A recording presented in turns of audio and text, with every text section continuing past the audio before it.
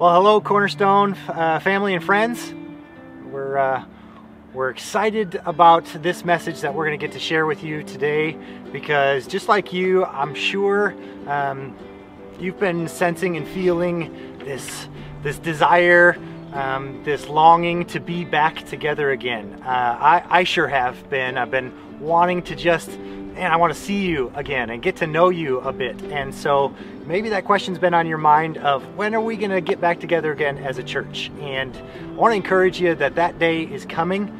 Um, we've had opportunity as a leadership team to meet the elders and, and go over the plan and try to prepare, uh, be in on our knees in prayer about how we can best do this. We can do it with wisdom and and uh, being careful and considerate and also having, having a good plan in place. One of our elders, Mark Barnett, is here with us today, and he's going to share with us just the elder's heart and a heart for our community and, and a schedule for us uh, to be looking forward to.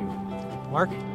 So the Elder Board's been working together to come up with a schedule of how we can relaunch and get back to uh, a place of normalcy. And so the first step is going to be on May 31st, and then also the next Sunday, June 7th and June 14th, and we'll have a, a drive-in church here in the parking lot of Cornerstone.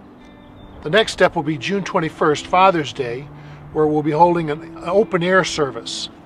And we're looking forward to that. Just an opportunity for people to bring uh, camping chairs and still practice social distancing, but uh, get out of their cars and sit out in the sunshine this is Michigan, and there's a pretty good chance we'll have sunshine. So at any rate, um, we'll get out there and have an open air service here in the parking lot at Cornerstone. June 28th, we'll begin our in-building services. And when I say services, I mean two. We'll have a, a 8:30 service and then a second service at 10:30. And this will give us the ability to kind of stretch out and to and to make room for folks and maintain social distancing while still being able to be to, to gather together. And we'll do those services. We'll do 8:30 and 10:30 uh, on June 28th, July 5th, July 12th, July 19th, and July 26th. And so we'll do the, the, the services only. Then starting August 2nd, everybody will be together in one service, and that'll be at 10:30. And then we'll do that on August 9th, August 16th, August 23rd, and August 30th. And then on uh, starting on September 6th, we'll have the 10:30 service, uh, morning worship service, and then we'll also have nursery and Sunday school for all ages, including children's ministries. As we, we get back together, we'll be starting with those drive-in services. Those are going to be a lot of fun just to see each other again.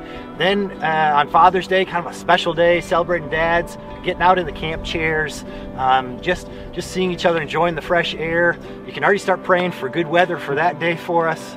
Uh, and then you know the, the excitement of we're going to be back in the building and worshiping together in the sanctuary again uh, through through uh, July and two services.